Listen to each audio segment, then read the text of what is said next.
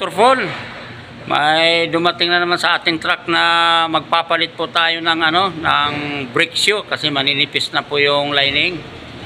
Bali, may mga pamamaraan tayong ipapakita ngayon na lalo na pag tayo nasa labas, nag-service tayo sa truck, na magtatanggal tayo ng brake drum. Ayun, wala tayong dalang fuller, kaya didiskartehan na lang natin po yung discarding malupit. Ayun, yun ang papakita natin ngayon ka motorpol. Ayan, titingnan na po natin kung paano natin gagawin to. Ayan, ka motorpol, kung, kung sakali po tayo nag-service at magtatanggal tayo ng brake drum, ito po yung axle, nakalas na po natin yung mga bolt. Ayan po, makikita nyo po, may ano ito, may bukol dito. Ito naman po ay paluan lang ito ng martilyo para umangat ito. Hindi, hindi naman talaga importanteng maigi ito. Kasi kahit dito natin paluin po pwede. Ang gagawin po natin, kung may dala tayong lagari, lagariin na lang ito para pumantay. Ayan, ipapakita ko po sa, iyo kung pa, sa inyo po kung paano ang diskarte ka motorful. Ito yung isa po, tinanggalan natin ng bukol. Ayan. May dala tayo ng acetylen. Ay, may acetylen tayo rito sa motorful. Ayan, pinantay na po natin sa bike grenine. Ayan. Ayan, ipapakita po natin sa inyo ngayon kung paano gawin ang mga mabilisan na diskarte na hindi na natin kailangan ng puller. Ayan po, kamotor fall. Bubunutin na natin yung axle.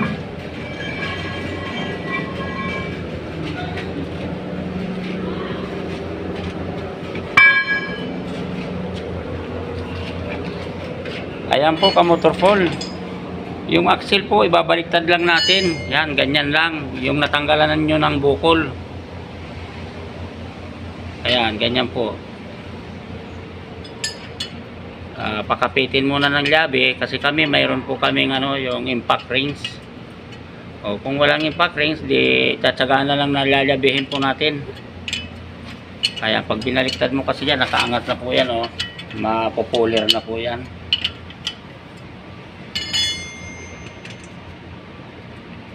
Ayan po, diskarte. Ayan. Ayan, nabubunot na po ka motor fall. Mga diskarte pag nag-service tayo sa labas. Ayan, unti-unti na po sinalabas.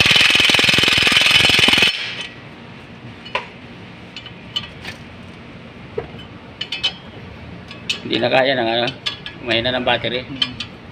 Ayan, ka motor fall, nalabas na po yan. Ayan, makikita po natin yan. Pinaliktad lang natin axle. Ayan, unti-unti na po siyang umaangat.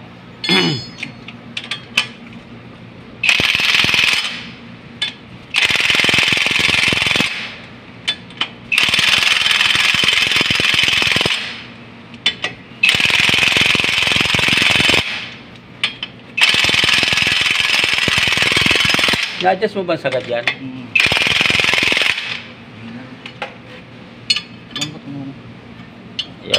motor full. Hindi na kaya ng ano, battery, no? Naikot ba? Ikutin mo nga kung ano.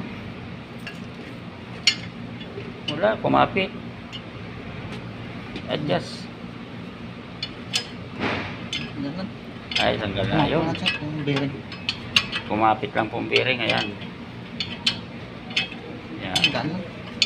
Yan, malupit na diskarte ka motor full. Itong mga pamamarang pag nasa labas tayo ng shop.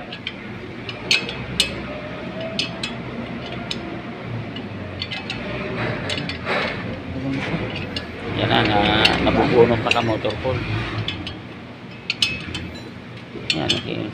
Ayan, kita nyo po, binaliktad natin yung axle. Ayan. Kaya lang, kailangan may katulong po dahil mabigat ang axle.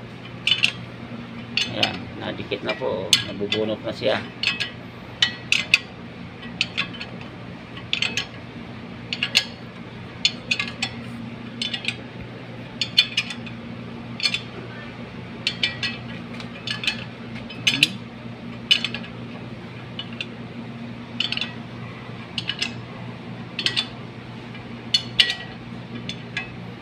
Yan, nakadikit na ka motor po, malapit na.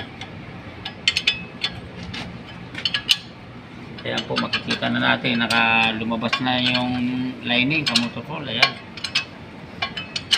Kaya maya lang, matatanggal na po natin yan. Mga diskarte ng mechanic from Cebu. Diskarting malupit.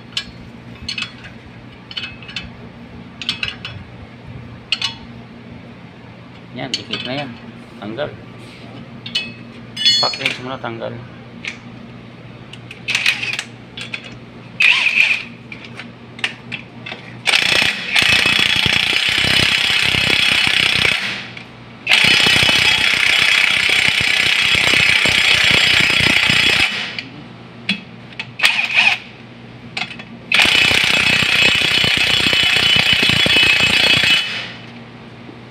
Labi.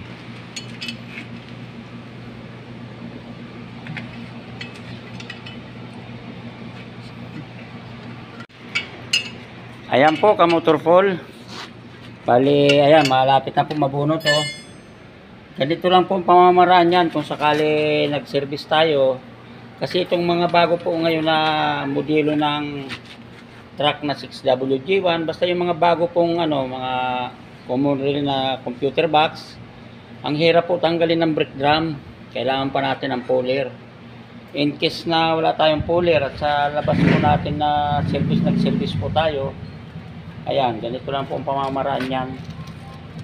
Axle lang, hindi na natin kailangan mag magbili ng puller kasi kung magbibili pa na tayong puller ay magsiservice tayo at alanganin sa oras mag-service ng gabi, ayan, ganito lang po ang pamamaraan yan para hindi na natin kailangan ng puller. Ayan, sa ganito, mga dalawang bisis mo. Motorful.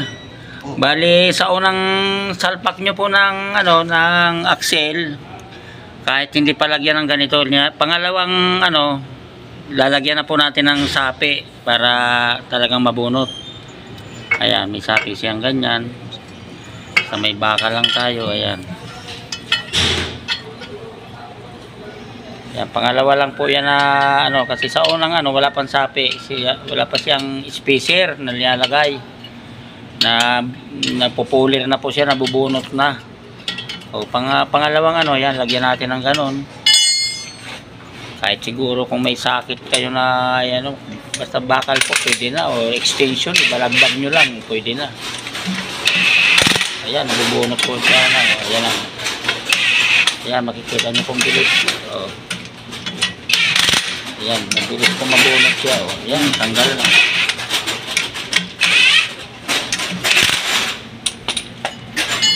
Ayan, tanggal na po. Tanggalin nyo muna yung axle kasi mahirapan mag ano dito. Tatama na rito. Ay, pupukin mo na ito. Ha? Hindi, tanggalin mo na muna ang axle kasi Pupukin yata. tutuko dito. Sige.